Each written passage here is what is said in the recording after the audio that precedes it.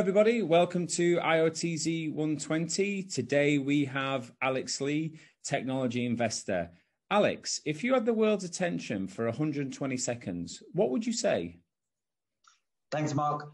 I guess uh, what I noticed, I've noticed is that a lot of people get into entrepreneurship because they want to be rich, they want to make a million dollars or a billion dollars, and they think it's all about them. It's almost like this narcissistic, what can I get?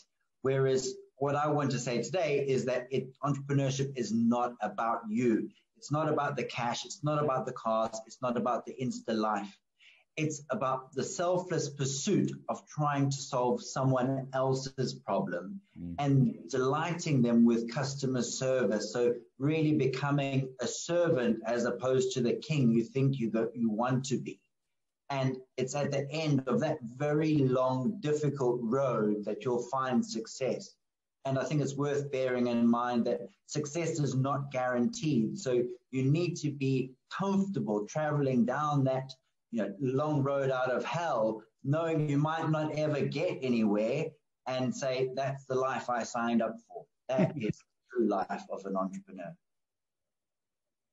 And what did you what what do you find, Alex, in terms of one of the key things that um, people say to you when they start or try to start a business, when they want to be an entrepreneur? What would be your number one thing to say to them? Alex, I want to be an entrepreneur. What would you say?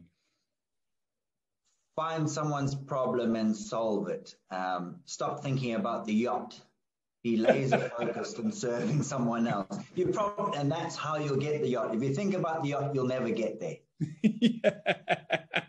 I'm I'm probably more thinking about a dinghy than anything. Um, I've got a couple of oars now as well, so that that that that's as well as I'm getting. Last ten seconds, Alex. Anything you want to say? Anything else?